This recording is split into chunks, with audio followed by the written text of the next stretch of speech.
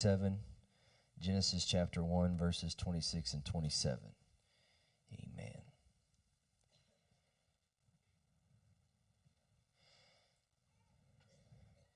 When you can see it on the screen, say amen. And God said, Let us make man in our image, after, after our likeness and let them have dominion over the fish of the sea, and over the fowl of the air, and over the cattle, and over all the earth, and every creeping thing that creepeth upon the earth. So God created man in his own image. Everybody say, own image. In the image of God created he him, male and female created he them. I want to ask you a question tonight. It's what I feel the Holy Ghost speaking into my spirit. All of us a question. What are you reflecting? What are you, amen, reflecting? Can we say that together? What am I reflecting? That's what God wants to ask us. Amen. Let's give him a good hand clap of praise and you can be seated. Amen. Brother Cole, if you can bring my wife's mirror up here, please. Is that your my mirror or my mirror, baby? That's my mirror. All right. I do got one thing in the house.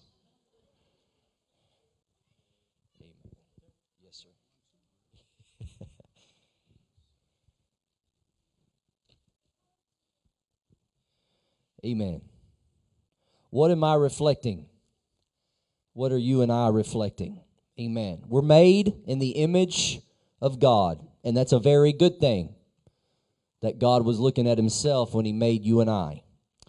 Image means a visual representation of something, such as a likeness of an object produced on a photographic material or a reflection.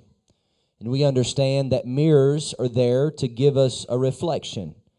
Amen. Maybe you look at your reflection or Amen. When you're fixing your hair or brushing your teeth or whatever. Amen. Getting ready for church. I'm thankful for mirrors. Amen. But the mirror can only reflect what's in front of it. Let's think about this tonight because I know we know it, but I want it to kind of seep into our spirits and our minds. A mirror can only reflect what is in front of it. Amen. A mirror is not going to reflect what is behind it. And in our relationship with God, we are the mirror.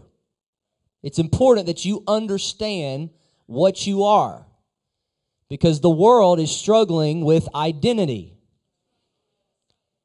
And if we're going to be everything that we can be for God, we have to know what we are. I'm telling you what you are. God has taught me all of this in the past week, and I'm thankful for it. But you are the mirror in your relationship with God. It's God, us, which is the mirror, sin, the devil, and everything else. God, us, the devil, sin, and everything else. We are made in his image. And when God looks at you, he wants to see himself. I didn't know any of this. God taught me. So you're just going to have to take me at God's word.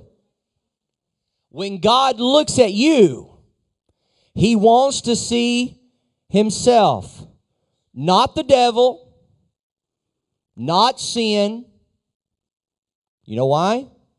Because that's what he kicked out of heaven. When God looks at you, he does not want to see what he had to kick out. There was a lady that I used to work with at Tipton. And this is a very sad story, but I want to tell it because it really backs what I'm trying to convey to you tonight. But her father was killed in a car wreck and he was in a Jeep Wrangler. And they had a lawsuit with Jeep because it was a malfunction with the car. And there was a day that a man drove up in the service drive, and her name was Ramona. And she was a good salesperson, and we were sitting there on the bench. And uh, a man drove up in a Jeep Wrangler, and she ran off screaming and crying. And I didn't know what had happened. And I was kind of just sitting there in shock.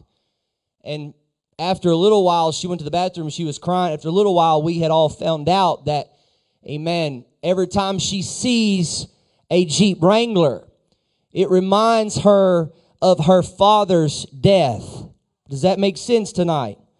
And so every time she saw a Jeep Wrangler, she would not ever want to see one. If there was one that we took in on trade, she would not sell it. She would not drive it. She would not have anything to do with it because it reminded her of a very tough and trying time in her life. And I want to tell you this tonight as a church and as the pastor of this church. Every time God sees the reflection of sin in our life, He relives Calvary. Every time that we reflect anything other, than Him in our life, God relives the pain and the agony of Calvary. I don't want to remind Him of the reason He had to die.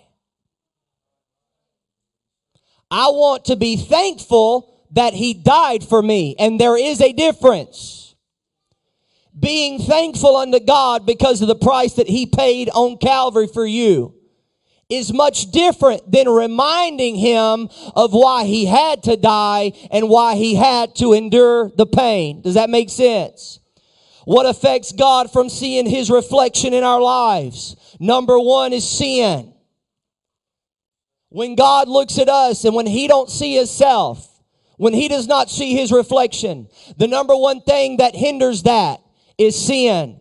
Isaiah 59, 1 and 2 says, Behold, the Lord's hand is not shortened that it cannot save, neither is his ear heavy that it cannot hear. But, everybody say, but, your iniquities have separated between you and your God, and your sins have hid his face from you that he will not hear you look back at that part that said, Your sins have hid his face from you.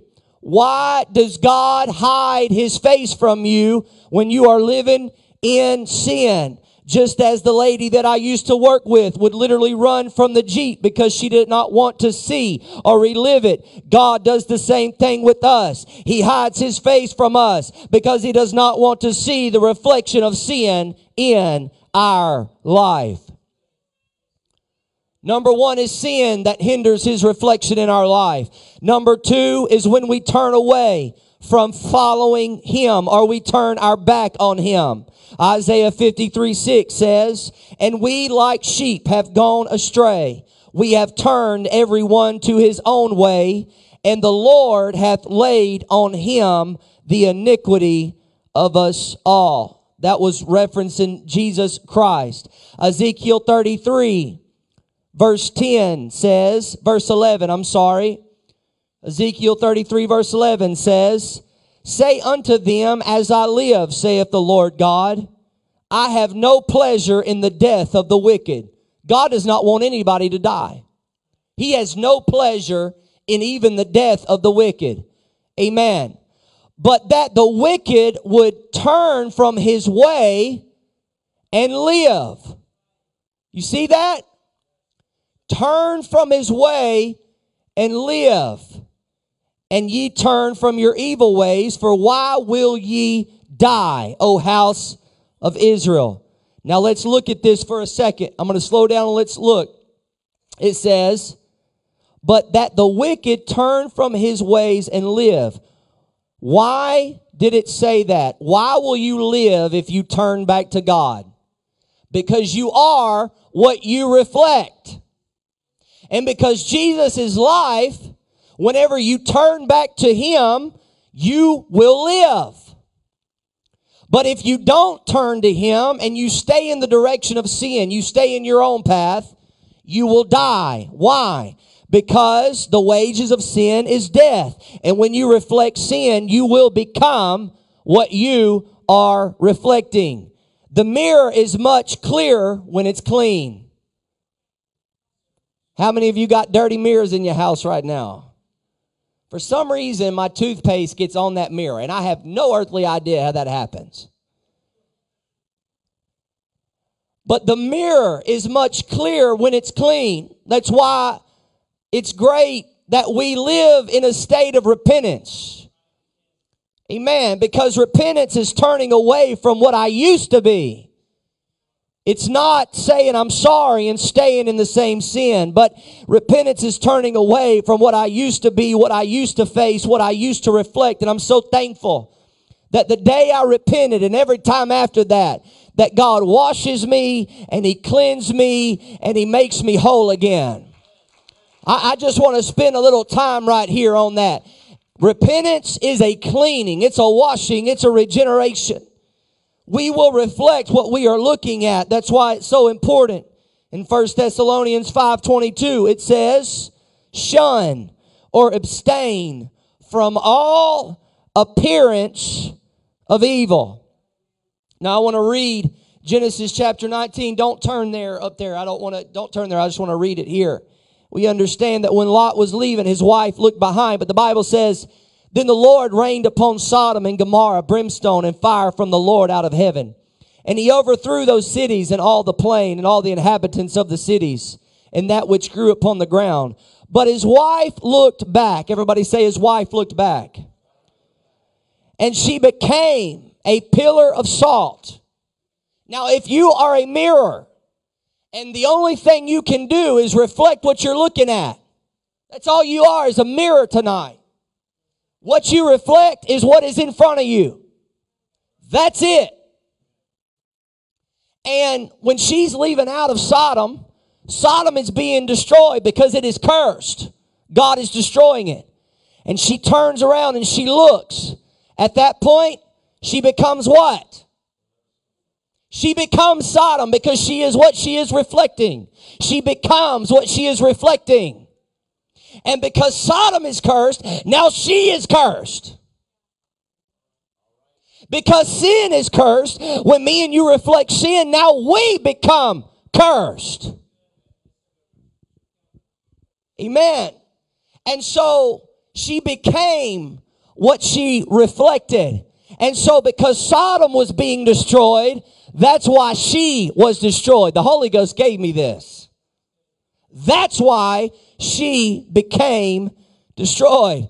But in Philippians 3, let me encourage you right here. Verse 13, brethren, I count not myself to have apprehended, but this one thing I do. And I want to tell you today, church, that there's one thing that we must all do well. Forgetting those things which are behind You know what keeps people in turmoil? Bringing up the past. You know what keeps people in hurt? Remembering the past. But I feel the Holy Ghost today saying on a Wednesday night, you need to forget those things. You need to stop looking at those things. You need to stop reflecting what is behind you. Those things that are behind, I'm going to forget that and reaching forth unto those things which are before. I don't, I care what happened to you in your past, but the greatest thing is what's going to happen in your future. The pain of the past is not going to affect the miracle of the future. The bondage of the past is not going to affect the breakthrough in the future. But if you mirror what is behind you, you can never reach forward to what is before you. That's why it's impossible to hide sin. Everybody say it's impossible to hide sin. It's impossible to hide sin because all you are is a, a mirror. A mirror will reflect. A image or a picture will show the details.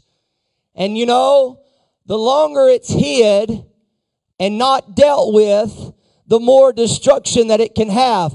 But when you bring it to the light, when you turn it back towards God, that's when He cleanses it and He exposes it and He makes you better.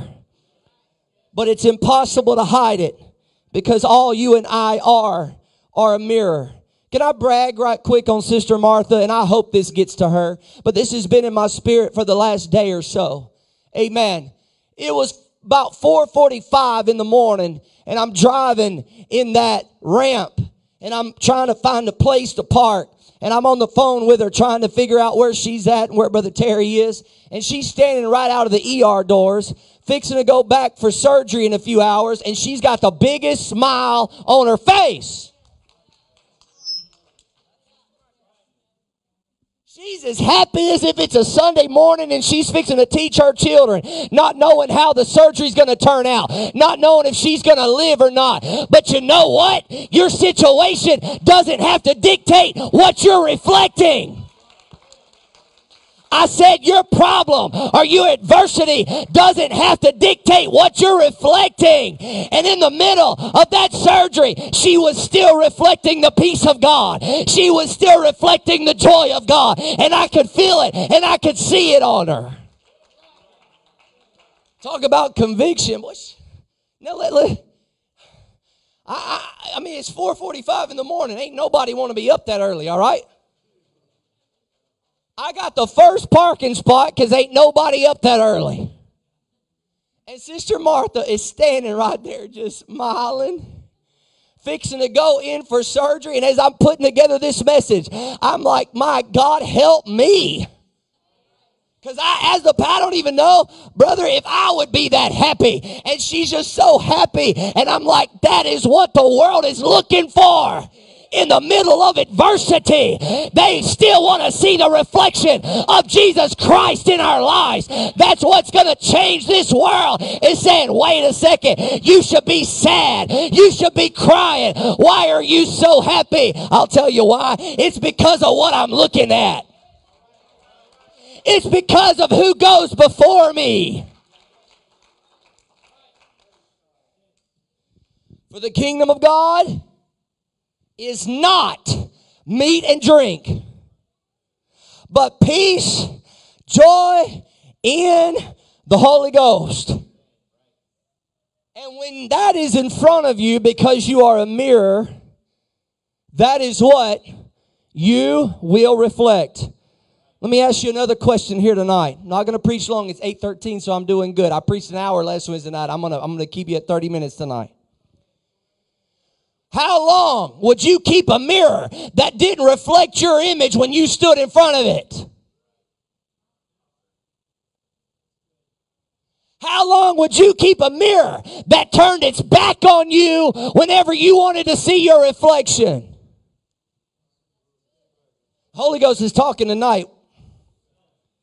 You wouldn't keep it, or you say, Mirror, mirror on the wall. Who's the finest of them all? Right? How long would you keep a mirror that you didn't know when it was going to show up or you didn't know if it was going to give you the reflection that it wanted? Let me go back and say this and really cement it in. When God looks at you, He wants to see Himself. When He created you, He didn't have you in mind, He had Him in mind.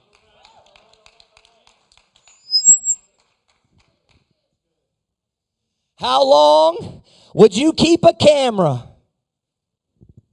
that didn't take a picture of what you was pointing it at? You get your family pictures. Sister Audrey, y'all all out in the front of the barn with your ARs. God bless America. We may put that on the front of our card and invite them to church. They might want to come, but like, you come or we're coming. Come and take them. I'm just big. I love that picture. I'm not, you know. But you know, you get in front of the barn. Anybody have a family photo of the barn? Jesus was born in a barn. I was I, I, I was born in a hospital. But we lived by a barn in Woden.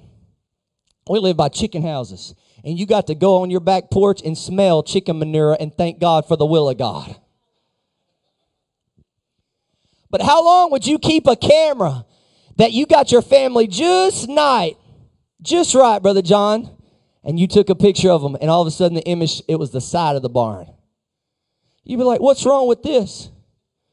Well, hey, can I tell you, you are the image of God. When you cease to reflect Him, what are you reflecting? Amen. How many of you have ever seen your kid do something that reminds you of their father? I got to get the ladies on my side tonight.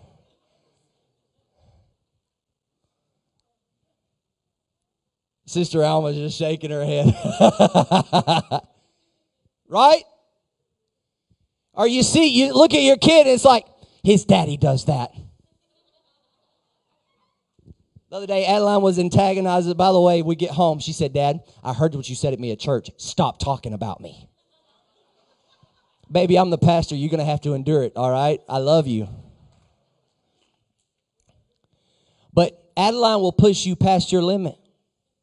I love her, but she's a picker and a nagger, a lot like me.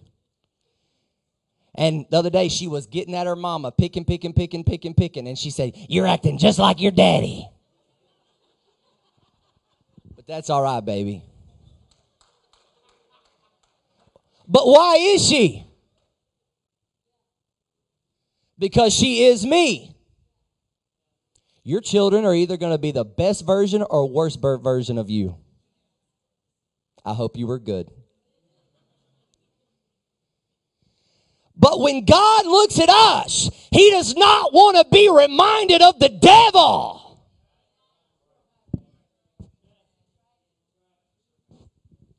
God wants to look at us and say, that reminds me of me. Right?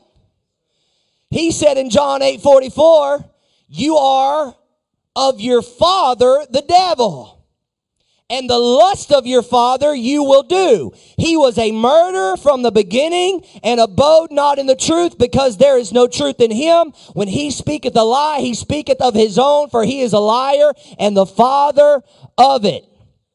I don't want God to look at me and be reminded of the devil. You don't want to see your kids down. You don't want to see your children down. You don't want to see your children depressed. Am I being honest to parents? Those of you that don't have kids, you don't understand what I'm talking about, but one day you will. You don't want to see your kids depressed.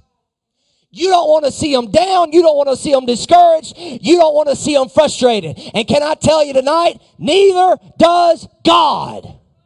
You're his kid. He wants you happy, content, and fulfilled. God don't want to look down and see you sad and upset and depressed and hurt. No, he doesn't.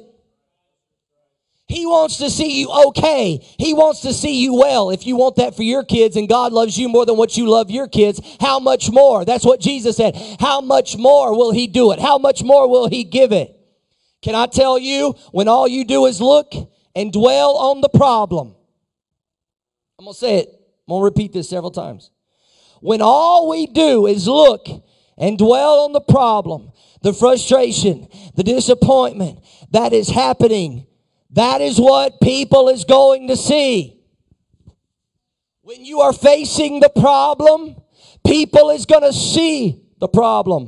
When you are facing the frustration, people are going to see the frustration. My frustration may be something in my life, but it does not have to be what I'm known by. My problem may be something that I'm going through in my life, but it does not have to be what I'm defined by. Your problem, your frustration, your disappointment does not have to be what everybody sees every time they see you. You can still reflect the joy of God. You can still reflect the mercy of God in your life. What do you got to do? You got to say, despite the situation, God, I'm keeping my focus on you. I want you in front of my mirror. I want the people when they look at me, I want them to see your image. When you start reflecting yourself, you then take the place of God. Self reflection is pride, and that too reminds God of the devil. Isaiah 14 13. For thou hast said in thine heart, I will ascend into heaven. This is the devil speaking. I will ascend into heaven. I will exalt my throne above the stars of God. I will sit also upon the mount of the congregation in the sides of the north. I will ascend above the heights of the clouds. I will be like the Most High. I will be like the Most High. Nope. I don't ever want to be God. I just don't, I just want to reflect Him. I'll say it again. All we are are mirrors. What are you reflecting to a lost and giant generation? Are you reflecting your problem, your frustration, your disappointment? Or are you reflecting the compassion of Jesus Christ? Are you reflecting the love of Jesus Christ? Because when they see me, I want them to see Him. I don't want them to see Brandon. I don't want them to see anything that I may have accomplished in this life. I want them to see the love of Jesus Christ in my life. Can I tell you, when I love like He loves, when I forgive like He forgives, when I endure like he endured, I become his image and I become his reflection. When people see me, I want them to see the God that is living on the inside of me. God, don't let somebody in need, somebody that has a problem, that is reflecting sin, that is reflecting frustration, see me walking down the street and all they see is more problems and all they see is more frustrations and all they see, I want them to see the help of God. I want them to say, wait a second, there's somebody that I know will pray for me. There's somebody that I know will help me repent. There's somebody that I feel drawn to. What are you reflecting tonight? Brother Joseph, can I get some music very lightly? What are you and I? I only need Brother Joseph tonight, just the piano. What are you and I? This is the question. What are we focusing on? Because that's what you're reflecting. Other people may not see it, but God sees it. And God is saying, hang on a second. I'm not seeing myself here. I'm seeing all these other things, and it's dirty and it's it's turned away from me. I'm going to open these altars tonight for anybody that needs a fresh cleansing. For anybody that says, God, I've let I've let addiction, I've let marital problems, I've let problems with my kids, my finances, my mistakes of yesterday, I've let it I've let it keep all of my attention. I've let it keep all of my focus and I have not reflected you. I have not been turned the right direction. I, I've turned my back on reflecting you, God. I've turned my back on when people see me, they see a, a person that's running, a person that is frustrated, a person that is hurt. But tonight, God, I'm going to turn and, and reposition my life to where when you look at me, Jesus, I want you to see yourself. I want you to see the image of the heavenly and not of the earthly. I, I want you to see compassion. I want you to see love. I want you to see hands that'll reach. I don't want you to see my problem. I don't want to reflect my addictions, my problems, my my situations to a world that's looking for answers. But tonight, God, I I'm the mirror and I'm going to turn my mirror back towards the throne room of heaven and I'm going to start operating with how I was created. I'm going to start reflecting my maker and my God and my king tonight. I I'm frustrated, God. I I keep looking at all the things that aren't getting better, but amen tonight I'm going to turn. I'm going to turn my heart and my spirit back towards you. I'm going to turn my mind back towards you, Jesus. Hallelujah. God, let us be a reflection of your presence. Let us be a reflection of your spirit tonight, Jesus. I pray, God, that when you look at us, you see yourself. I pray, God, that when you look at us, you see you. God, help us to be in the right direction. Help us to fix our eyes upon you. Help us to lift our eyes where which cometh our help and our strength. Jesus, Jesus, Jesus. I thank you for it tonight, God. I thank you for it tonight, God. Hallelujah, hallelujah. That's it. Just talk to the Lord. If there's things in your life that you know that, amen, is causing problems or issues, there's, bring that to Him, but say, God, I'm going to focus. I'm going to face. I'm going to be a reflection of you, God. I'm going to mirror you, God, in my life. I'm going to I'm going to put off, God, the reflection of you in my life, God, and I want people to be impacted by that. You may be the only Jesus that somebody ever sees or feels. Hallelujah. You may be the only Bible that somebody ever sees or reads. Thank you, Jesus. Thank you, Jesus. Hallelujah. Hallelujah. That's it. That's it. There's some people talking to God. That's it. Hallelujah. Work it out with Him. Amen. He's here to meet you tonight. Amen. He's not going to get rid of the mirror. He's not going to get rid of you, even though you're not reflecting Him, even though you may have turned away and tried your own way. But tonight, He's going to have mercy and compassion, and He's going to forgive you, and He's going to cleanse you and wash you. Hallelujah. Hallelujah. Thank you, God. Thank you, God.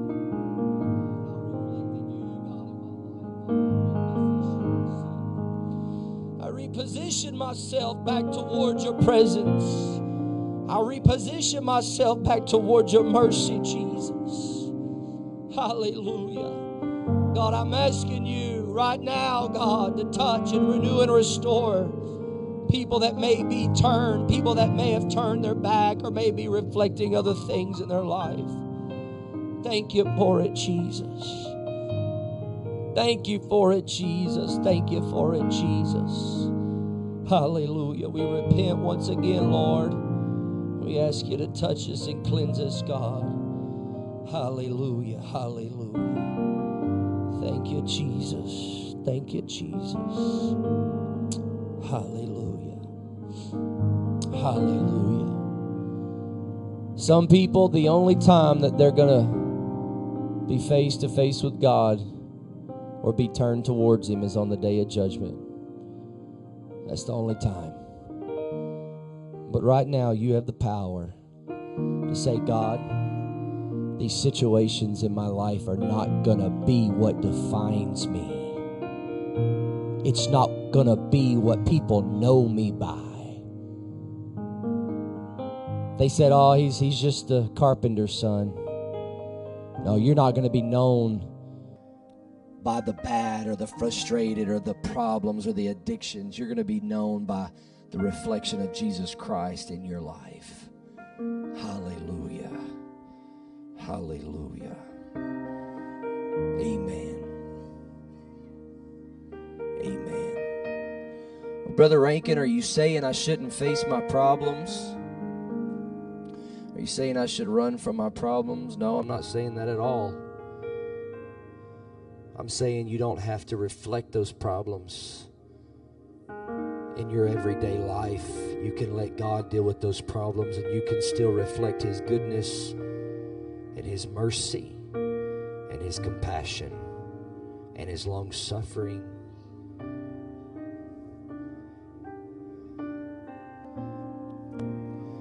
You know, sometimes we have to ask ourselves this question. We're so quick to cut off people. We're so quick to limit their chances or give up on them. Ask yourself this question How many times did God give you chances? How many times did God forgive you? How many times did God restore you, gave you another chance? If I'm the true reflection of Him, it's not about me. It's not about me. God, I was I was I was closing down the store. I was running a store in Lufkin, Texas, and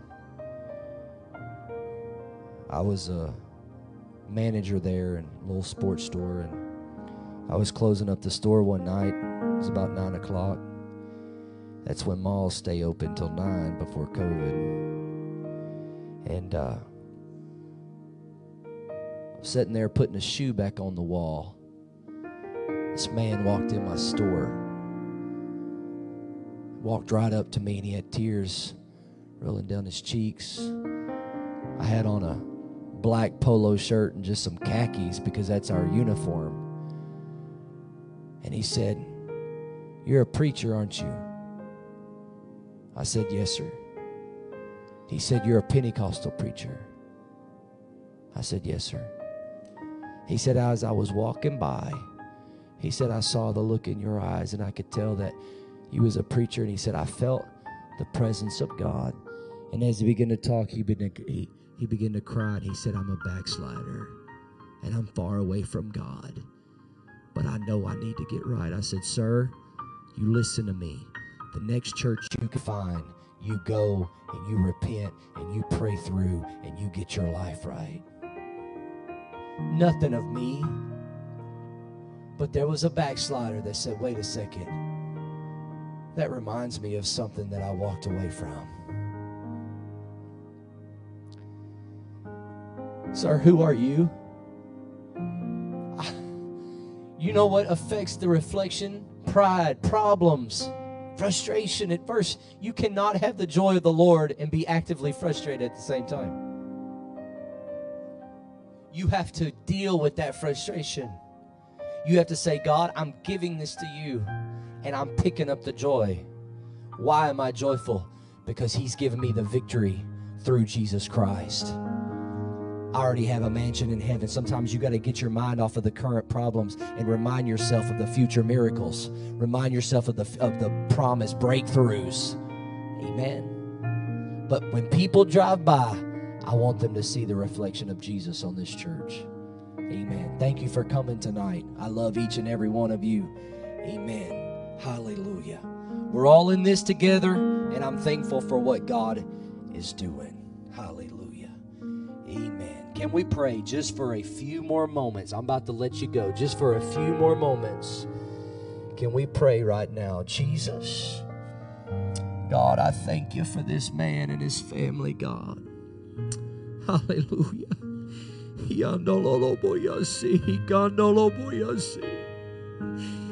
Oh, hallelujah, God. I thank you right now for my brother today. I'm asking you right now to touch him in a mighty way, God. In the name of Jesus, bless him and his family, God. Lead them, God, deeper in levels of you, God. Lead this family, God, to where you have promised them and where you want them to be, Jesus.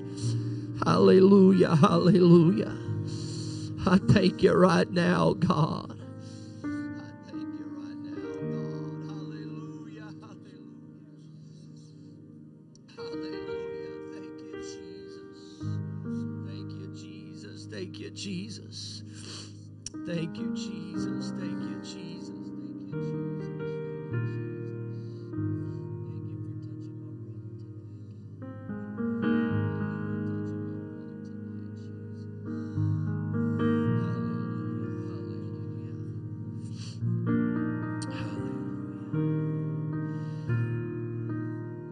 Some parents. There are some parents, and this is it's 8:34. Give me one minute. I, I learned this one time. Be careful when you tell the, somebody's kid who they look like. One time I told this mama that their little girl looked just like their little boy, which was nothing wrong with that. I'm like, they look, she looks just like her brother. She got mad at me. And they were like literally identical twins. And I'm like, you're living in denial, lady. I, I didn't say that. But you got to be careful because some parents want that baby just to look like them. And they're like, nope, she looks like me. I don't care how much she does it, she looks just like me. God's the same way. He wants you to look just like Him. And we were, when we reflect His compassion and His love and His goodness, but God don't want to look down and other people say, I know that's your child, but they look just like the devil. It happens. Yeah. When you're talking about that other person that's in the church to your family or whatever, we've all done it. And point out their faults that you're telling God his child don't look like him. Because God ain't got no faults or problems. I better stop. Amen. Hallelujah. Amen. You're dismissed in Jesus' name. I better I better pull that anchor. Amen. You're dismissed in Jesus' name. We'll see you back Sunday morning at 10 o'clock. Let's come expecting something great. Amen. The banquet that night at 6 o'clock. Amen. God bless you. Thank you for coming.